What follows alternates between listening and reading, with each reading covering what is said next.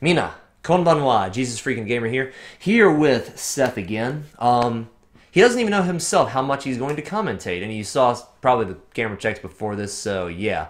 Um, Seth the Troll is with us this evening for an amazingly, terribly dark topic. I'm not sure how long this is going to go. I don't know what kind of input he's going to do. A lot of this is there's some planning here. A lot of this is off the cuff and we're um, I'm still in the book of Deuteronomy like I have been for the past several days. And today it's Sunday, doing the full sermon. And my gosh, I found a doozy. I think I have some of the answers. I won't say that I have all of them. And a big part of this channel is I want you guys to think. I want me to think. I want my good friend Seth to think. I want all of us to think about these things, whether we understand them or not, whether we know them or not, whether we comprehend them or not. God's word is true. That's my presupposition, and I admit it's a presupposition. There's some reasoning behind that. That's a sermon for another day. And as the word of God, I can trust it, I can depend on it, I can believe it. And the parts that don't make sense are right and my other presuppositions which contradict the Bible are wrong. And I know, actually, I hope several people who disagree with that will watch this video and perhaps think again on these verses and think about the things that I have to say about them in my commentary on them. And of course, if you just want to leave a good troll post, hit the dislike button and uh, troll away and have some fun with the stupid Christians. All right, Deuteronomy chapter 28, verse 52. Now, these are the verses atheists love to throw at Christians. They're verses pastors don't like to tell their flock. So, hey, you guys are my flock. All, right now, 11 of you. Thank you, Seth, for being one of them. Greatly appreciated. Actually, I unsubscribed a couple days ago. Doggone it. It's all right. Well, whoever those 11 are, then thank you very much. You're much better than this guy right here. No, I'm just kidding. I was just trolling you. now, let's talk about women eating their children. Deuteronomy chapter 28, verse 52. Let's see that be talked about in a church. Makes me hungry. Let's see that be said in a church. They shall besiege you at all your gates until your high and fortified walls in which you trust come down throughout all your land. And they shall besiege you at all your gates throughout all your land which the Lord your God has given you. You shall eat the fruit of your own body, the flesh of your sons and your daughters, whom the Lord your God has given you, in the siege and desperate straits in which your enemy shall distress you. The sensitive and very refined man among you will be hostile toward his brother, toward the wife of his bosom, and toward the rest of his children whom he leaves behind, so that he will not give any of them the flesh of his children whom he will eat, because he has nothing left in the siege and desperate straits in which your enemy shall distress you at all your gates. The tender and delicate woman among you who would not venture to set the sole of her foot on the ground because of her delicateness and sensitivity, will refuse to the husband of her bosom and to her son and her daughter her placenta, which comes out from between her feet, and her children whom she bears. For she will eat them secretly, for lack of everything in the siege and desperate straits in which your enemy shall distress you at all your gates. I have not once in, and I'm old, I've said I'm in my 30s, I'm specifically 35, became a Christian at 13, so that is 25, 15. Yeah, in 22 years of Christianity, I haven't heard a single sermon on these verses. I've heard about God's wrath, I've heard about God's curses, I've heard about God's fierceness, and I've heard about the fear of the Lord, which is the beginning of wisdom, and that is biblical. It's in the book of Proverbs. I've never heard about um, sensitive men and delicate women hiding the children they've killed to eat from the rest of their family because the siege is so bad and so terrible that they simply won't share with their spouse and their other children. And now you're hearing that sermon today.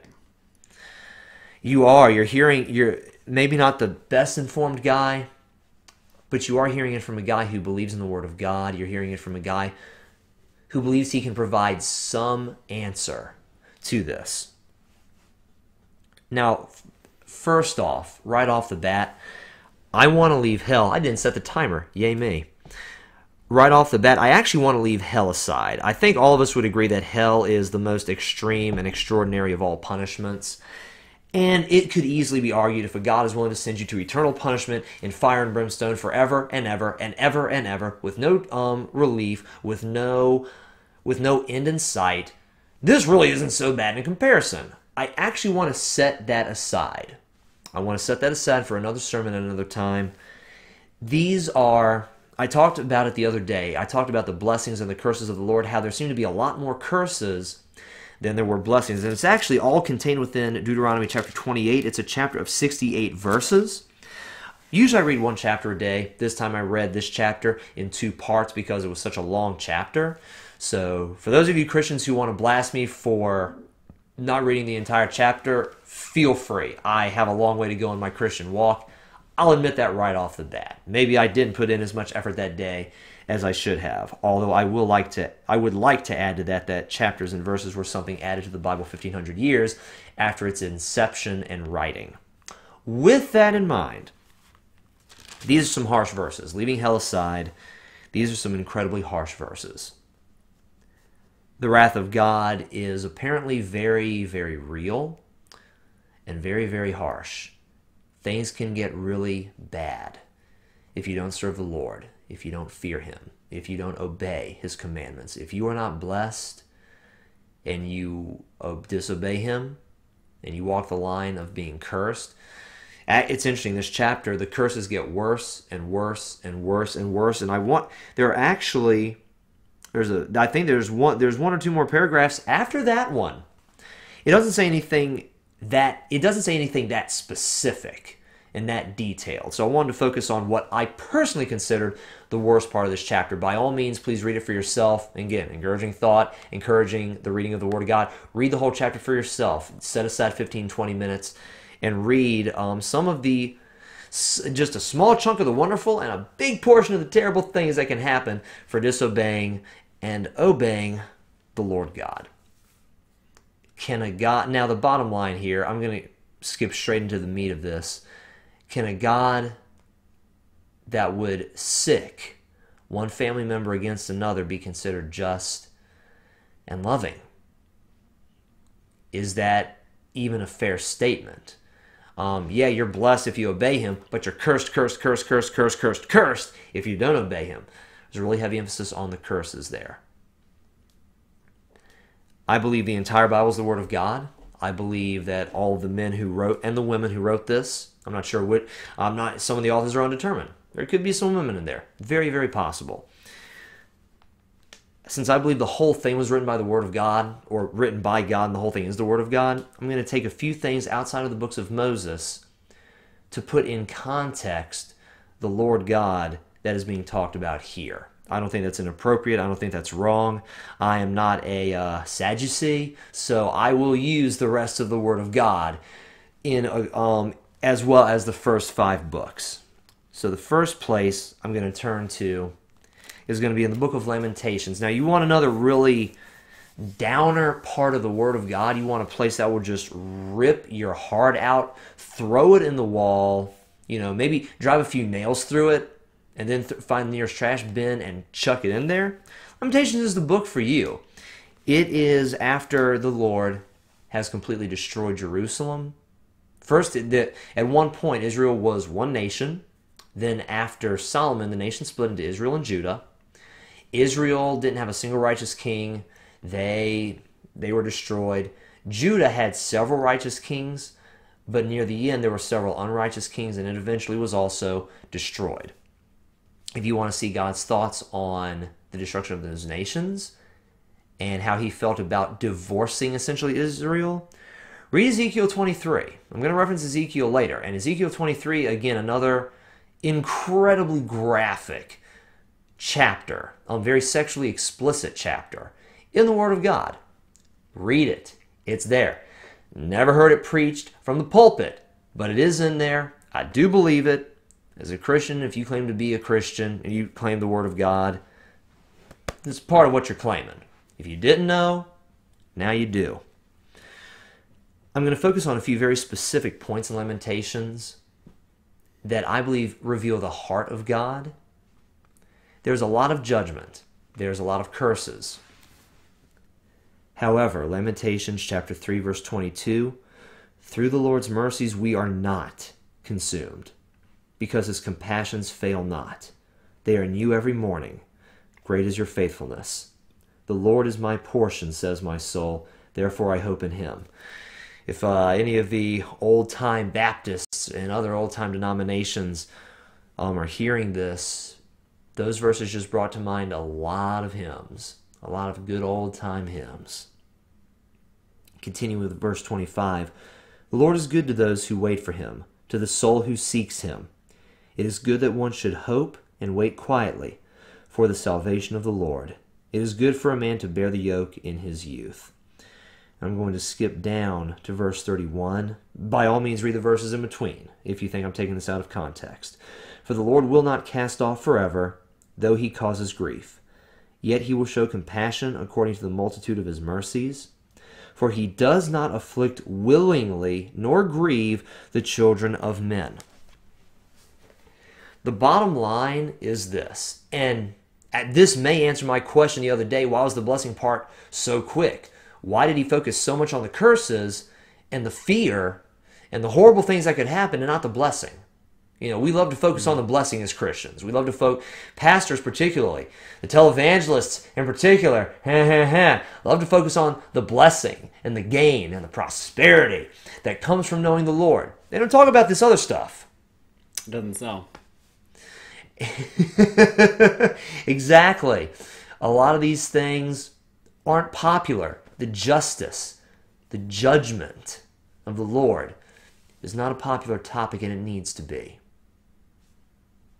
Without going too deep into it, because I don't feel like it's the crux of the message, I do not believe that judgment is an Old Testament thing. I do not believe the things that I just read are limited to the Old Testament times. And some pastors would probably disagree with that.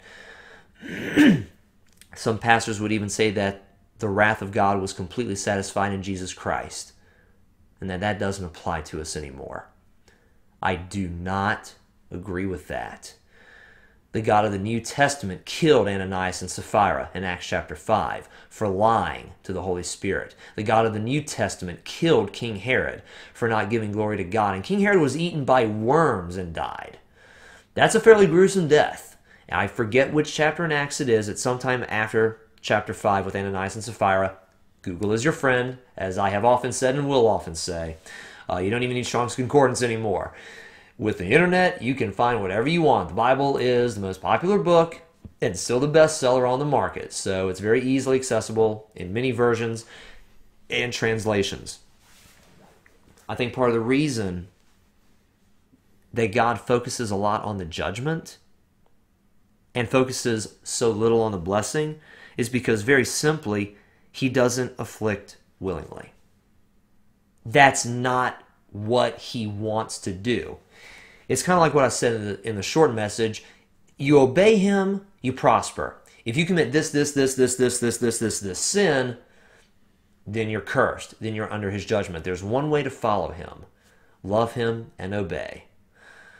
Another popular hymn trust and obey, for there's no other way to be happy in Jesus but to trust and obey. There's a lot of truth in that hymn.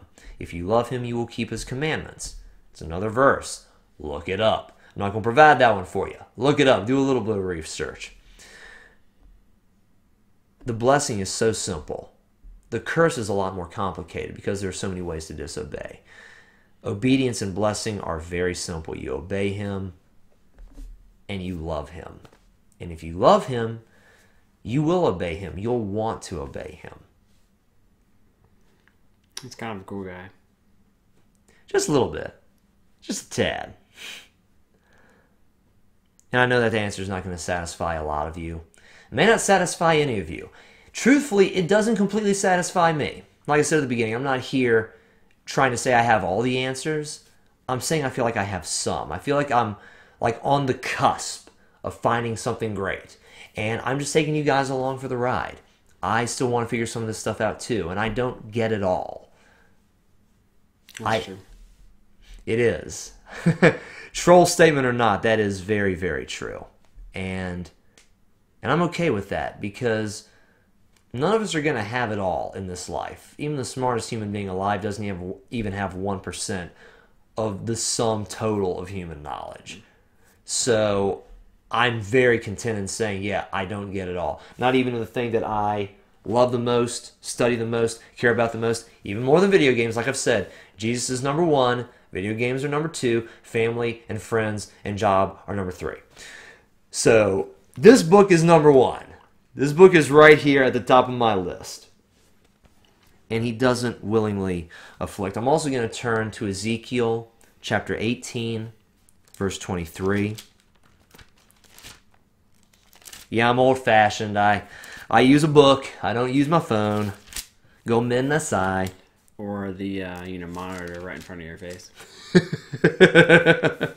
Yep. You've added so much to this, Seth. I'm glad you're here. Yep. Just helping out. You know. That's what friends are for. That's what your brothers and sisters in Christ are for. Actually, I think it's right there. Is and I'm going to read it out of here. Do I have any pleasure at all that the wicked should die, says the Lord God, and not that he should turn from his ways and live? Skipping down to verse 32. But again, by all means, read the whole chapter. Don't let me take anything out of context. Look behind me. For I have no pleasure in the death of one who dies, says the Lord God. Therefore, turn and live. In Lamentations, God does not willingly afflict. He doesn't willingly grieve the sons of men. In fact, even in his wrath, he didn't wholly consume them. There are Jews to this day. There's a whole nation set aside for them. In 1948, the nation of Israel, after about 2,000 years, was reborn. And the Jews are in control of it. For the time being. And that's a topic we also won't get into at the moment. But they're still here. They're still alive. God has not utterly cast them off. Quick segue as a side note to any of my Jewish friends who are watching this. I don't know what you've heard. I don't know what's been said to you, but on behalf of a lot of the Christian community, I want to apologize to you for some of the treatment that some of my brothers and sisters have said and some of the things that they have put forth. God definitely still loves you. He is definitely still for you. The New, the Old Testament is definitely still correct. And I am I certainly do not hate you and I apologize on behalf of probably people that have no have no desire to apologize. Nonetheless, I'm apologizing on behalf of the Christian community because we there is no right for a guy who worships a Jew to have any anti-Semitism in him. So I'm for you. I love you, and I'd like to welcome you into a community that believes the Messiah has come, that he's here, that he wants the very best for you, that he has still made a way for you. He has not utterly cast you off. I just wanted to throw that in there because I don't know, it just that it kind of like burst up from within my heart. They're like, this is important. I need to say this. I second that, by the way. So yeah, um, you guys are very much so loved, at least by two Christians out there. Two of two of us think you guys are awesome and that God loves you. Yay, internet, and two guys Yep. on a webcam. That will be a fun conversation for another video, by the way. Absolutely. God didn't utterly destroy them. And despite all the faults of the church, God hasn't utterly cast us aside. Because He doesn't.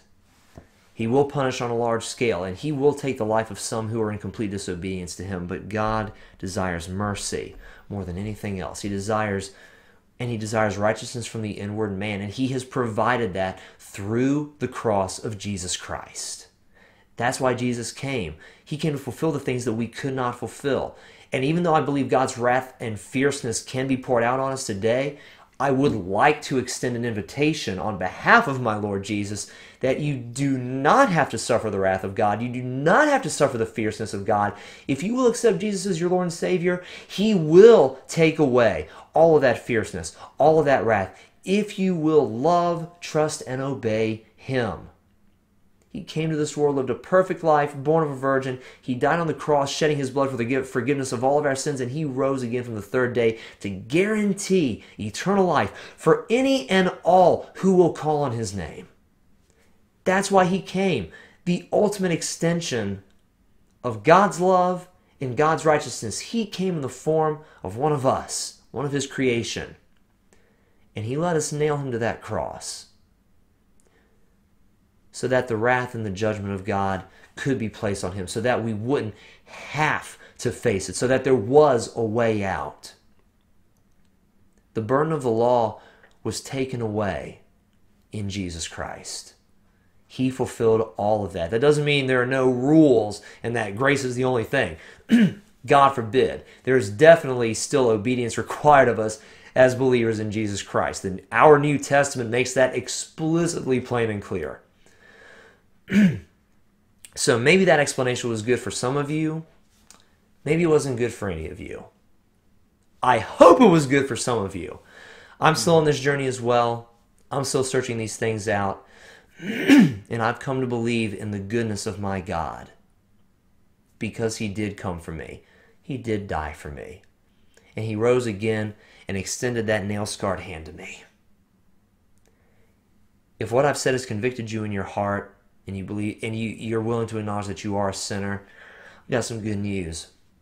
God wants to extend his hand to you, and he wants to take away all that wrath and all that judgment right now. If you will believe that he did die for you and that he did rise from the dead, God will save you from all that judgment and all that wrath right now.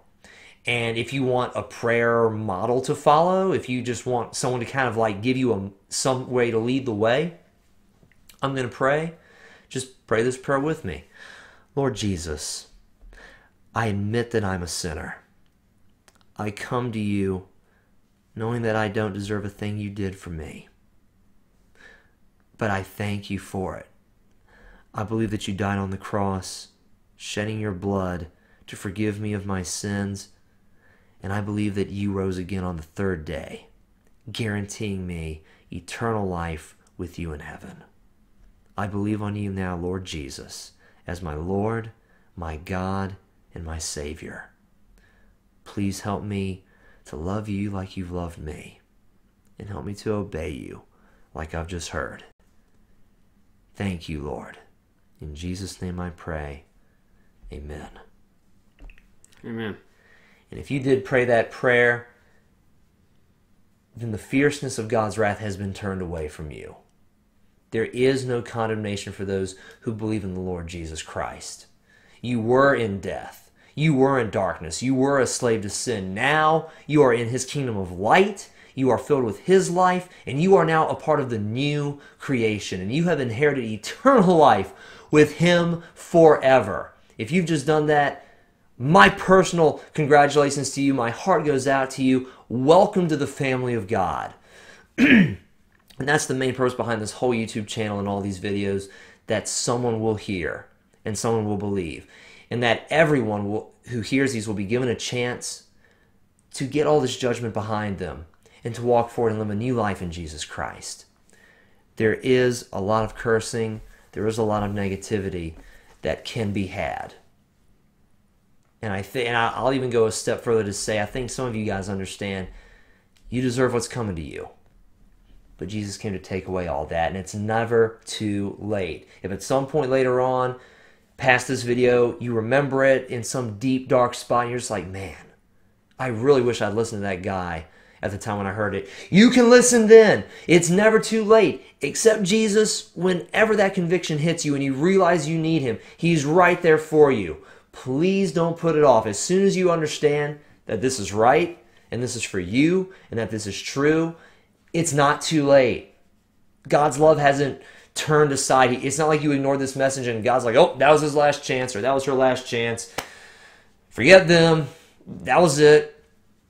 As long as you care, as long as you want Him, that's actually Him calling out to you. Do not turn away from that. If you don't believe it now, but you do believe it later, it is not too late. He loves you. He always will. And the reason you're still here is because He is waiting for you. And He's giving you another chance. That's why you're here. And that's an extension of His long suffering and His grace and His mercy new to you every morning. Thank you guys very much for watching this video. Thank you, Seth, for being here with me, for your incredible contributions to this video as a whole. Much appreciated. Thank you. It would have been successful without me. It wouldn't have been at all. I love you guys very much. If you liked it, I, I think I do this for my main Sunday videos. No, I haven't figured out my outros yet. I'm sorry. Gomenasai deshita. If you like this video, hit that like button. If you dislike this video, hit that dislike button, Christian or non-Christian alike. And let me know in the comments what was wrong and how I'm stupid and don't know what I'm talking about. If you really liked it, please share this video with someone, especially those who need to know the gospel of the Lord Jesus Christ. Subscribe and join the freaks! I love you guys. God bless.